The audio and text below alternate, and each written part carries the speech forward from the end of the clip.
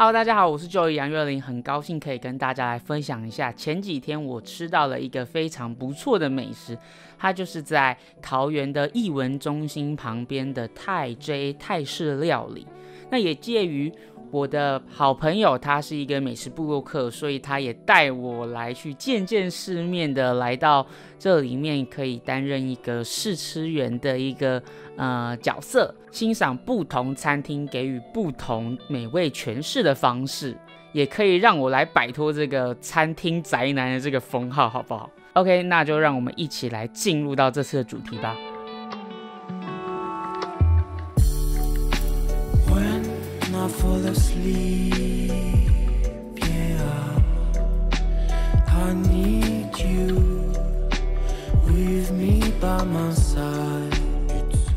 在欣赏美食的同时呢，也会有非常好的灯光、非常好的摆盘，甚至是非常优秀的服务员来帮你介绍每一个餐点他们的用心之处。它的菜色分别是泰式米沙拉、酸辣鲜虾玉米凉拌、泰味节瓜、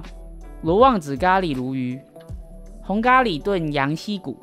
虾酱蒸肉饼、泰式辣酱牛肩排、东印酸辣海鲜汤。而我最喜欢的有非常多种，其中最棒的点是泰式米沙拉，两种玉米由火龙果及及蝶豆花的汁液来搭配着泰国米搅拌而成，就用于在清迈的庆典的时候会食用，口感呢是酸甜清爽。接着我也很喜欢它的罗旺子咖喱鲈鱼，它的里面的那个酱汁真的是非常的到地，拿来下饭真的是刚刚好。来讲一下我自己本身的感受好了，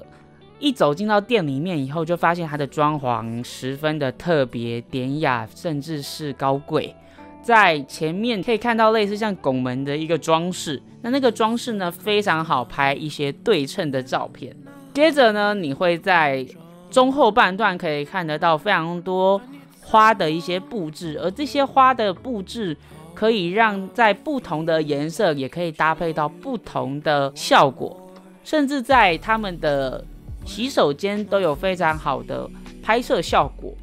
旁边的镜子，甚至是角落椅子上面搭配着那里又不一样类型的花朵，可以去拍出那种类似于欧洲的那种典雅风，甚至是帅气利落的一些表情。